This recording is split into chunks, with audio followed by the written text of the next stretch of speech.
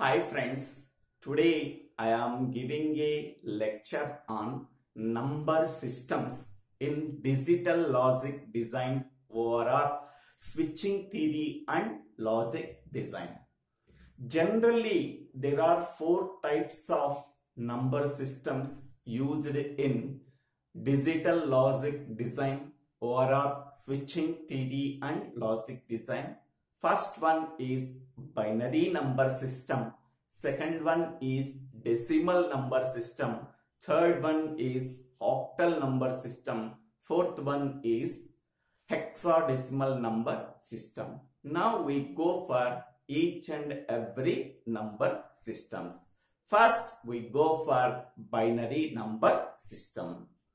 A binary number system is generally used in digital computers because in digital computers we have to use switching circuit. This switching circuit have generally two states either zero state or one state zero state can be represented as off stage. One stage can, one state can be represented as on stage. Okay.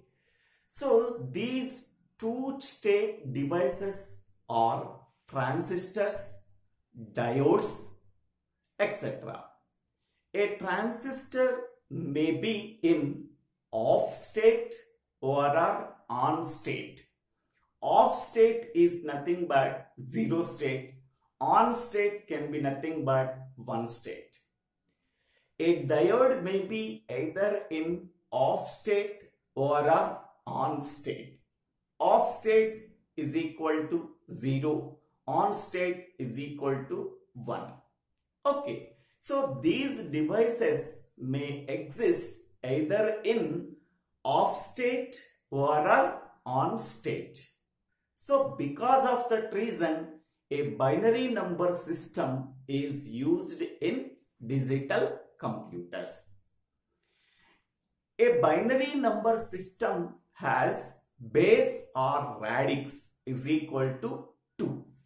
Because of that reason, it consists of two independent symbols either 0 or 1.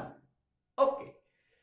A binary number system has a positional weighted uh, system. What is positional weighted system? Suppose we are taking a binary number.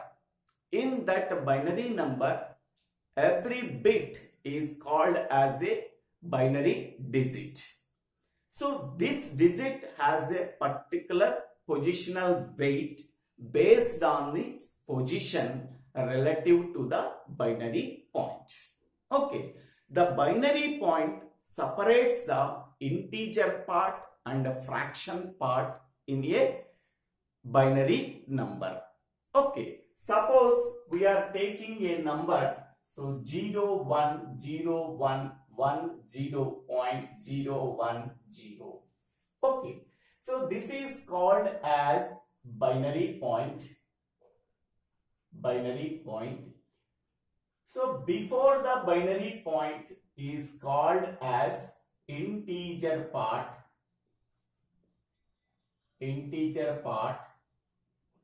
After the binary point is called as fraction part.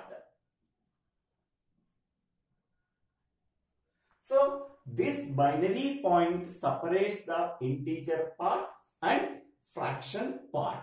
So every bit as a binary digit. This binary point separates the integer part and fraction part. Okay, so this is called as a binary number. Simply we can say that a binary number is a sequence of either zeros or ones.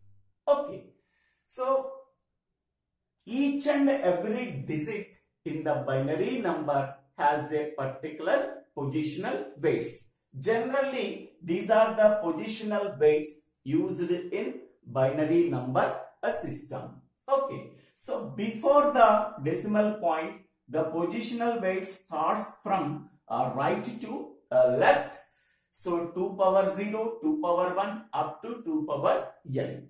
After the binary point, the positional weight starts from 2 power minus 1 to 2 power minus k. Okay. Now each and every binary digit in the binary number is multiplied with the corresponding positional weight. Then we are getting the products. These products are added. Then we are getting the equivalent decimal number for a given binary number. So this is the introduction about uh, binary number system. Then we go for decimal number system.